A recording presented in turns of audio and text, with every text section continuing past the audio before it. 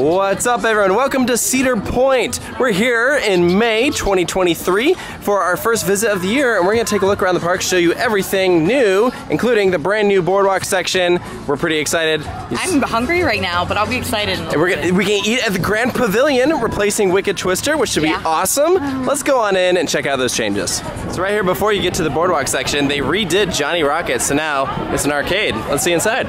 Here's all the different arcade games that we're looking at. This is fun. Have you ever seen a mirror maze in a theme park before? Price 40 coronas?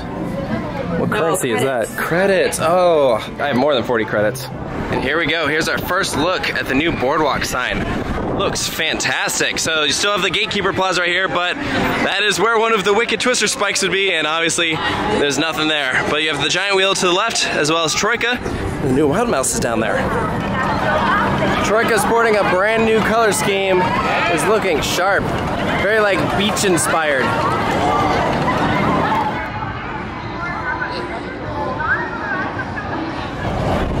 Calypso is back to its original name, still sporting some beautiful colors. Same location, right next to the giant wheel.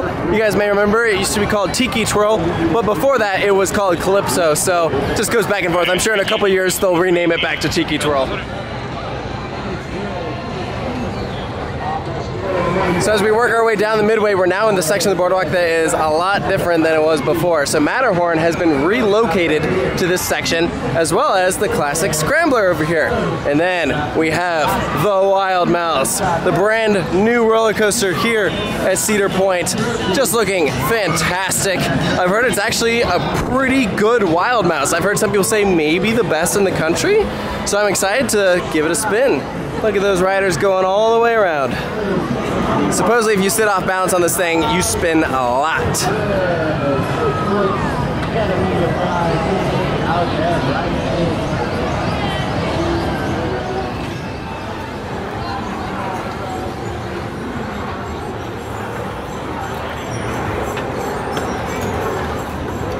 And what an entrance. That just looks fantastic. It's honestly a lot bigger than I was expecting. Right now it says it's sporting about a 20 minute wait, which isn't too bad for the new roller coaster.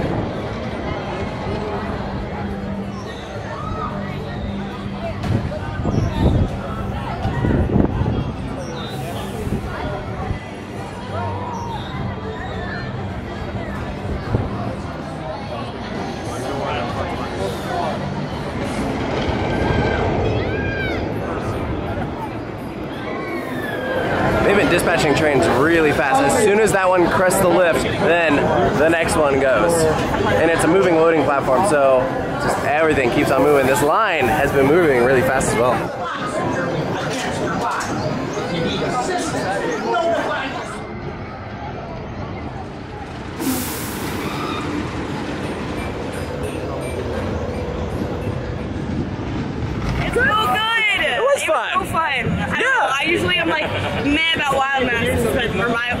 Wild wild mouse. I don't know. Either way, uh, that one was really really good and we spun a lot. And the one like mid course that you hit and you don't slow down at all, and then it like kind of does like a little like big turn downward, and it's You get yanked. loopy. Yeah, it's, it's So definitely a, a shorter ride experience, but overall I think they did a nice job. I, I like the, the audio are fire. as you're going up the lift hill. Operations are good. The different characters that they have in the station of like the different You had mice. Dizzy. You Yeah. had Maisie.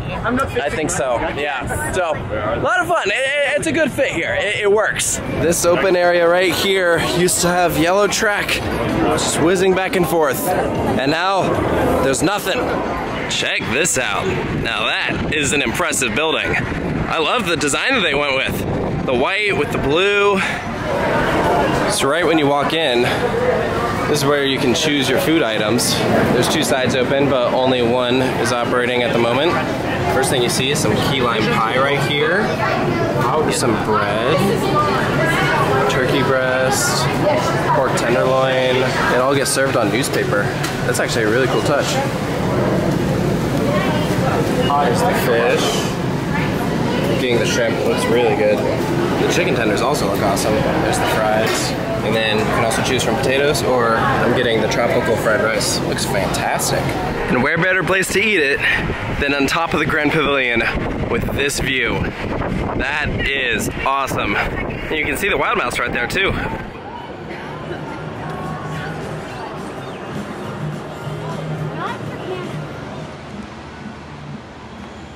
Was at Cedar Point, like once you were in the park, I, I never really felt like I was at a, a beach park, even though you are.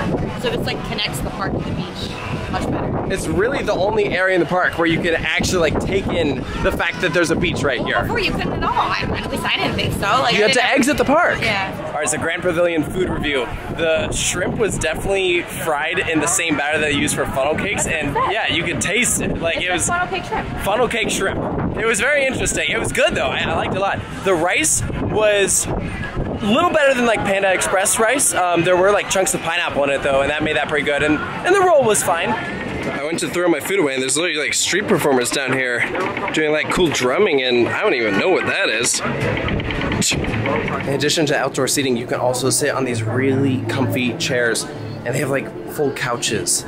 That's sweet. I seriously don't know anywhere else in the park that you can do that. There's actually a second restaurant on the second floor that has different offerings than downstairs. However, it is not included on your meal plan, which sucks 'cause they have really good looking chicken wings down here and whatnot. So they're gonna have to just pay for those out of pocket.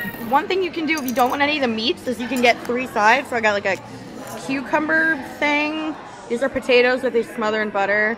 I got pasta salad, and I got Tim. He got a salad. salad. What'd you get? You got rice, right? Rice. What do you think? You've eaten here before, right? Yes. And It's it's really good. The the serving sizes can be hit or miss, but the food is really good. I was gonna say these are like really big portions. Like I don't know if I can eat this many cucumbers. I guess uh, we'll see. In case you're unfamiliar, there used to be a Grand Pavilion here at Cedar Point. I think that's what it used to look like.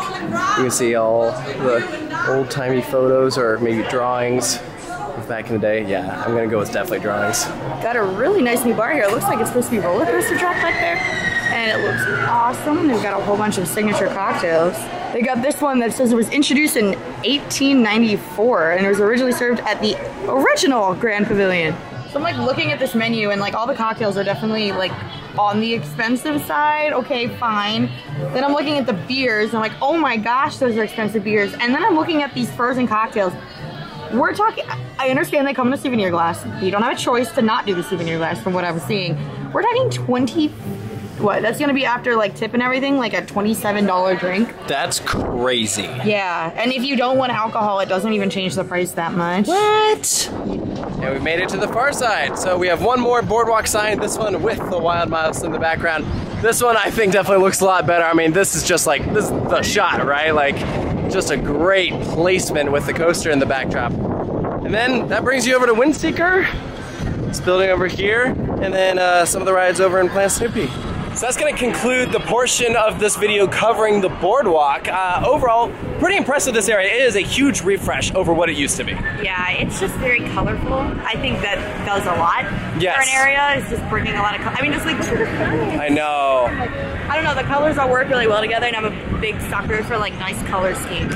This land actually has personality where before there was just nothing to it. Like you didn't even want to really be in this area. I Like never came over here except to ride Wicked Twister. do you miss Wicked Twister? Like is it okay this all being here with Wicked Twister being gone? Like is that a fair trade-off? I wasn't as devastated as other people were about Wicked Twister. Neither was I. So I didn't even ride it every visit. Maybe it was like every other visit. Like it was cool. yeah. But like it exists in other places. Yeah, yeah. I, I think that If it was like the last of its kind, I'd be more like, oh no. Yeah, uh, it, it'll be sad seeing the spikes missing from the skyline, but something That tells me uh, we'll get a replacement for that spike in the skyline pretty soon. we can't talk about Matterhorn and Scrambler without talking about their old location. So they added some seating areas for where Scrambler was, and then up here is where Matterhorn was, and there's not really anything. It's pretty much just empty. So maybe room for something else in the future. I mean, this area in particular is very like open and grassy, which is very scenic and pretty. But I mean, let's be real, you could fit like a decent sized ride over here. And now the elephant in the room, Top Thrill Dragster. Well, this is what it looks like. Yeah, the Top Thrill Dragster is, is no more. This is this is all you got. So you can see the entrance sign was right there. It's just a bunch of work walls. So it will be reimagined in 2024 with a new formula for thrills. That's the quote they said. But yeah, so you can see the work walls even extend around the bleachers over here, just all the way down this pathway. That's crazy. This is so weird to see. Right here, you can see where the track just ends.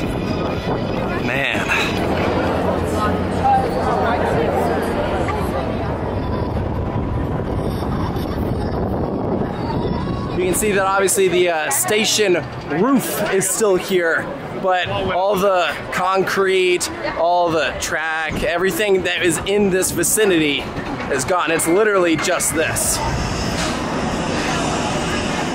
If you look right back there, you can see uh, that's where the photos used to be, and it's a little overgrown now. All the TVs are covered with plastic bags. So there you can see the supports that are left over, and then you can see the pad for where the station was.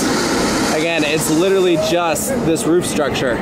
And that's it. So, in theory, this new station will be here, but I'm sure they're gonna have to make some serious modifications for what's coming next. To the average viewer, you just see, you know, grass, rocks, and water, very nice little view. But to the keen eye of an enthusiast, you see three freaking massive footers for what is likely to be the back half of Top Thrill Dragster. It is in a perfect triangle, right here in the center of Iron Dragon. That cool. Yeah. Oh my gosh. I cannot believe how close you can get to them from the line of this roller coaster. So in order to make room for these things, they actually had to remove a section of track here at Iron Dragon. So this thing had a delayed opening, but now it is operational. So you can just get really, really good views of these footers. That is a huge change here. Like, again, it doesn't look like much right now, but come next year, we're gonna be looking all the way up there. And it's gonna be crazy. Going up those lift hills, you got perfect views of that entire staging area. You can see how much concrete they ripped up. You could also see more footers that we couldn't get on camera, but they line up perfectly from that triangle and like where that launch track is. It's like two behind where the former station was. Over by Millennium Force's turn, we have the Millennium Lounge VIP experience. It's $40. You get access to shaded seating, phone chargers, that's nice, TVs, complimentary snacks, and flavor infused water. Would you pay $40 to do that? Wait, really? Are you actually asking? I wouldn't, no. No, I, I mean you could go over to the pavilion and they have like a like an indoor area and they got a bunch of chairs, they got a bar. Like yeah, there's no like free snacks, but that's like not worth forty dollars. I just can't imagine that this will do super well. I feel like there's not an audience for it. So this right here was the entrance of Forbidden Frontier, and now is the entrance to Frontier Fling. So you used to enter right through here, and you can see it's closed off. So Millennium Island is no longer accessible, which means no views and no role-playing experience here at Cedar Point. So I guess it just wasn't popular. Kings of May removed their Chick-fil-A for the 2023 season, and so did Cedar Point. Frontier Inn is back in this location, serving handcrafted burgers, pizza, and chicken. This is the inside. Definitely not as impressive as the nearby farmhouse, but that's okay. You can see how they kind of reskinned it from the old Chick-fil-A. Various theming up against the walls. Subtle, but still looks nice. The Frontier favorites is what's on the dining plan with the in and out quick platters. So the entree choices are a Trailblazer cheeseburger. You have a bratwurst burger. What the heck is that? French bread pizza and thick cut fries and onion rings or half fries and half onion rings. Whoa. So here's our chicken. We have two different dipping sauces. So this is bourbon, then this is hot honey. Then the onion rings are pretty good. Fries are steak fries. Here's a look at our burger. Overall, I think this is a huge miss. It it's not that good. Like I like the bourbon sauce a lot. the bourbon sauce is good. The onion rings are, are, are good, but the burger's cold, not good flavor. What The you think of chicken pizza? is not fresh. It's okay. Have a brat burger because they're delicious. Okay, so that's like the thing to get here then. Okay. It's really good. I literally watched them pull like a fresh thing of chicken, and that's what we're eating, and it doesn't taste fresh at all. So, I don't know. I I personally say this is a downgrade from Chick Fil A for sure. If you're coming to this like it. area, yeah, it looks like Chick Fil A. It doesn't taste like anywhere near as good. If you're coming to this area, eat at the farmhouse next door instead. It's literally like right there. Can't talk about what's new at Cedar Point without talking about the new merch. So there's this design. They're saying This is my Cedar Point shirt. That's a big thing they're doing. Then they have like this big like graphic designs for like the different rides here, such as Millennium Force. And then here's another one, just a different take on it, very all over the place and stylistic. And then Rock and Roller Coast. Yeah, it's a lot. Wait, they have one for This one's fun. Look at this, just like in the corner right there. Oh yeah, here's the how they Steel Vengeance are, on one. the side. Oh, I see. That's the back. Interesting. So what's on the back of this one? Whoa. Oh wow. A lot. Look how simplistic this is. It's literally just Cedar Point, Sandusky, Ohio. It's like how minimalist can get. I mean, honestly, These I look like like it. Yeah, it's, um, it's not I bad. think these are supposed to look like the Ohio State logo. I could be. Oh, I think that's what, that's what it looks like. Yeah. I see it. The Yeah. generic college logo. Yeah. This is kind of fun. This isn't bad at all. I actually like that one. Over at Steel Vengeance, unless I'm losing my mind, they raised the prices on the lockers and it's now $3 for one-time use. Usually it's two. So We are not made of money. I know, they're getting greedy is what I'm hearing. That does it for all of the different changes around Cedar Point this year. Park is now closed, so we're on our way up, but overall the park looks fantastic. I mean, It really does. every year they make a lot of subtle changes, stuff that you might not even notice unless you come here year after year. But, subtle changes make a lot of difference. Yes. You know, it's usually the areas that you wouldn't think about that when they're spruced up, they make a big difference. So Yeah. I think they're doing the right thing. most of the attention on the park was put towards the front. Uh, you know, we're leaving Frontier Town right now. It looks about the same as last year, but last year it did get a huge like spruce up. So, Yeah. and it's still uh, they are maintaining it. That's the big thing. Is like it. You know, you add all these things, but you have to keep it looking good. And so um, they've absolutely done that. Obviously, next year they're gonna be very focused on Dragster. But uh, That'll be a big thing, yeah. I guess we'll have to follow along over the next year because now that the park is like, you know, in the swing for summer, they're gonna start to probably sprinkle hints here and there until And right they there- kind of make an announcement. I imagine that we're gonna see a lot of work done with different footers, uh, some of the supports and everything, and uh, what, also what theme they choose. So it's Space, all. give me space. I like it. So if you've been to Cedar Point yet this year, let us know what you think of all of these changes. If you're coming to the park later this year, then keep an eye out for all the different things that we've highlighted in this video, and let us know what you want to see at Cedar Point in the future. So thank you all for joining us, and we'll see you next time.